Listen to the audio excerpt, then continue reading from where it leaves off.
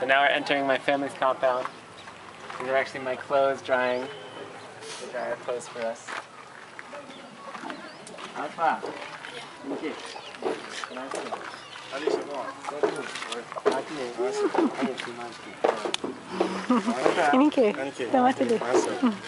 Namaste.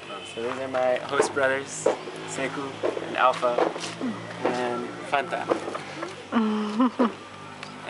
and uh, there's about 11 children in this family.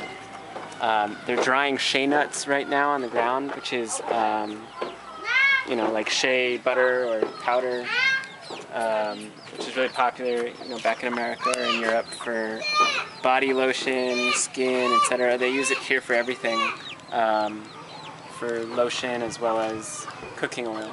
Um, it's a really long, complicated process. It's really fun to do.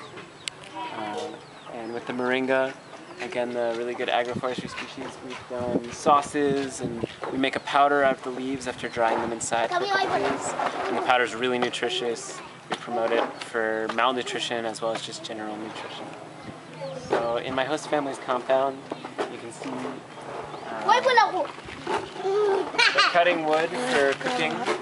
So this is just a hatchet and plenty of firewood.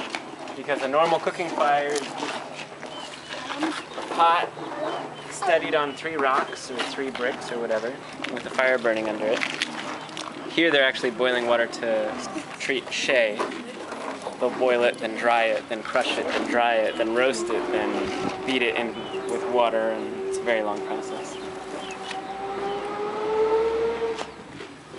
And this is where we come and eat meals.